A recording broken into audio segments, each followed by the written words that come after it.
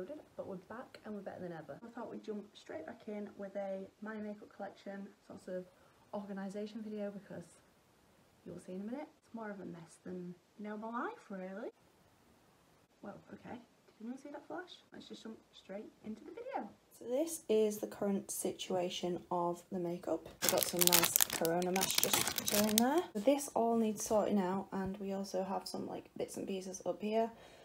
I know this needs tidying. Please don't come at me. I'm gonna get everything out of the drawer and then we're gonna sort of try and organize them into bags. So like maybe foundation and concealers in one bag. Let's get started. This is all the makeup put on the bed. I'm now gonna sort of organize them into piles of like foundations, concealers, and just organize them into groups so then I can show you like one group of makeup at a time. So I've managed to get everything in piles. So I've got all the highlighters here, I've got concealers, got like bronzers and one blush, foundations, primers and the big eyeshadow pile featuring my laptop charger right there. So I'm literally just going to go through everything pile by pile and then put them in like one of the makeup bags. I think we're just sort of going to try and do it the way I do my makeup. So we're going to start with the primer pile and then we'll go into the foundation pile, then the concealer pile and so on. Do please excuse like how dirty some of the packaging is. I have had some of this stuff for a very long time and things are possibly out of date but we you know we're just gonna ignore that.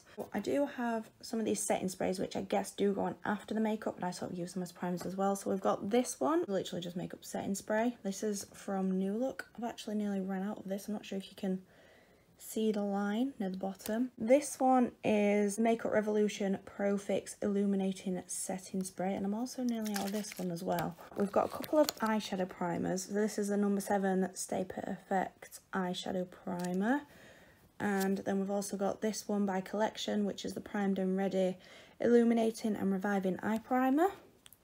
Now this one is possibly my favourite. Oh my gosh, look at the state of that. We, we're just going to ignore that for the time being like I was saying, this is my favourite one. This is by Makeup Revolution. This is the baking oil. I find that this one keeps your makeup on for like the longest time. And if you've got quite dry skin, it works as well. Because obviously it's literally is like an oil. So you literally need the tiniest bit of this. Now we just have this Primed and Ready by Collection. Miss Sporty Instaglow Primer. And this technically isn't a primer as such. It basically just sort of works as a primer, I guess. This one by e.l.f. I find I prefer this one when my skin's feeling a little bit more oily. So if you have super dry skin, I probably would not recommend this one. And then just one of the little MAC Prep and Prime testers because I actually really like these. But uh, I'm too poor to afford the real the real thing. So I'm literally just going to put all the primers in this makeup bag and then we're not getting things muddled up. Moving on to foundation, this is the collection. So I've got a couple of the MAC ones. This one is definitely out of date. I've had this one so long. This is the Perfection Lumiere by Chanel. Then I have this one, which is like a little droplet kind from Revolution Pro. I do quite like Revolution foundations. I have two here in completely different shades. I got this one in the shade F01, but it's way too light for me. And then this one is for I've tanned, but I do not tan to this dark colour. I always lighten it up. And then I've also got these few L'Oreal True Match, Rimmel Wake Me Up, and then another Revolution like stick foundation in the shade F3. All of the foundations are going to go into this bag because this is the biggest makeup bag I've got. So with them being quite fat and thick, we need to be able to fit them all in. So I'm sure you can tell by this, I am quite a fan of Revolution concealers. We have the Super Size Conceal and Define. We've got two of those. We've also got the Conceal and Hydrate. We've got the Trusty Collection Lasting Perfection Concealer. And then also the Rimmel London Wake Me Up Concealer. Next is powder. I don't have many for powder. I've got this baking powder, which is from Revolution. I've got this one. I'm not too sure what brand this is. But I just know it works really well. As you can see, I've hit pan, but I could not tell you what brand it is. And then this one, which is by Clinique in the shade 02 Stay Neutral. Next, we're moving on to the brow products. So I have this, which is from Primark and literally costs one pound and is so good. I've also got this other brow gel, which is just clear. And I believe this is by Makeup Revolution, as well as this one by Revolution, which is just a brow crayon. And, you know, we've got a theme going with all my makeup. I really like Makeup Revolution. This is a brow palette, so you've got the powder shades, then These are sort of meant to be like highlighters and then sort of like cream highlighters. I don't really tend to use this side. I've also got a brow pencil which is from Ted Baker. However, I don't usually reach for this because it's slightly too light for me. But cute packaging though. So the next pile is bronzers featuring one blush. It's literally the only blush I own which is by MAC. It is in the shade Modern Mandarin and it's just a powder blush and it's quite a peachy colour. And then for the bronzers, I've got this one right here, which is by MUA Makeup Academy. We've then got this bronzer by MAC, which is in the shade Refined Golden. And it does actually have a slight shimmer to it. Let me show you. This is so cute. Like, look at that. Can you see? sort of the shimmer in that like so pretty i think this is the bronzer i reach for the most which is mua makeup academy glow bronzer. It's from the Glow collection that they released last summer. It's got so many different shades of, well, bronzer in there. Then we've got this one, which is from the Soph Revolution collection. So, you know, Soph Does Life, who used to be Soph Does Nails. Yeah, as you can see, I like this. I've hit pan. Of course, we've got the Too Faced Cocoa Contour palette and the NYX highlight and contour palette. Then I've also got this, which is the stick foundation in the shade F14. I sort of bought this to use as a cream contour stick. Obviously that is not my shade of foundation so it could not be used for that. This is a fairly big pile. This is the highlighter so as you can see I've got two of these which are the Mary-Lou Manizer highlighter by The Balm. Oh my gosh, absolute favourite. Like just look at that colour, it's such a gorgeous shimmery colour. Um, I'm in love with that. Then we've got the Lottie London collaboration with Imogenation, which is like a powder highlighter. I do find this is slightly too dark, so I use this when I'm tanned, but oh my gosh, it's amazing. I've then got a few Revolution highlighters. So I've got Soph's highlighter palette. I've got the Revolution strobe palette. Oh, hey, you can see me. Then we've got the Revolution collab with Roxy, which is a contour and highlighter palette.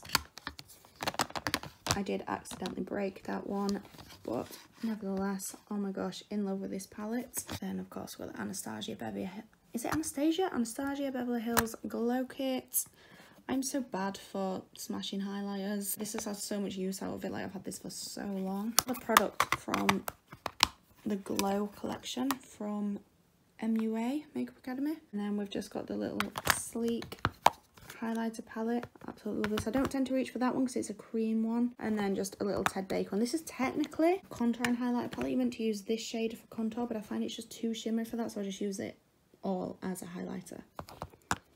So I'm not going to go into detail and show you every single eyeshadow palette because there's way too many. I'll just show you a few. So we've got the Ride or Die palette, which is Roxy's collaboration with Revolution. I'm sure you can tell by now I do love Revolution. We've got Imogenation's, collaboration. We've then got the Pride Revolution one. Uh, we've got some Urban Decay ones. We do love them. And then I've got a few like smaller ones. So I've got this, which is Imogenation's collab with Lottie London. Little mini Urban Decay one from Kiko London. Got some of the Little Mix palettes, another Soph palette there. Moving on to the eyeliners and the mascaras. So we have some glittery eyeshadows there. Then we've just got some plain black ones. Got one by number seven. We've got Rimmel London. For the mascaras, as you can see, I've got three of these. Big fan of this. This is the Maybelline New York, the Falsies Push Up Drama Mascara. I just find this makes your eyelashes look so long. Another Maybelline mascara, which is the Lash Sensational Lash Multiply Mascara. Absolutely love this one too. A really popular one, I'm sure most of you have tried this Too Faced Better Than Sex Mascara. Insane. Absolutely love that. So I've got a couple of samples of the MAC in Extreme Dimension mascara. We've got one by number seven. We've got a Ted Baker one there. Clinique. And who is this by? L'Oreal Paris. Then I keep all of my lip products up here. So I have quite a collection of MAC ones. You know, we've got some Honey Love, Velvet Teddy, Brave, you know, all the classic ones that everyone loves. I've got the Camila Cabello lip gloss collaboration with L'Oreal Paris. I've got a Ted Baker one here. Uh, this is from Primark, my absolute favourite. It costs like £1.50. It is insane. NYX Soft Matte Lip Cream. I'm sure anyone that's tried this knows how amazing this is. We've got a few of the Little NYX ones here and then back here. Some of the Kylie Lip Kit kind of ones. This one by The Balm, amazing. And then just some Revolution because it would not be me if I didn't have a Revolution product for every single type of makeup. So that is the lipstick collection. So this is already organised so we don't need to do anything with this. So that's the end of the video. I hope it wasn't too boring. I just felt like it was time for me to come back to YouTube. You know, I've had some stuff going on. I'm not going to go into detail, don't want to bore you. But yeah, I'm back and we're going to be regular uploading and I hope you guys stick around. Um, if you are new here, if you've stumbled across this video and you've never seen my face before, please do subscribe. It really would mean the world. I'll be sure to see you in the next video.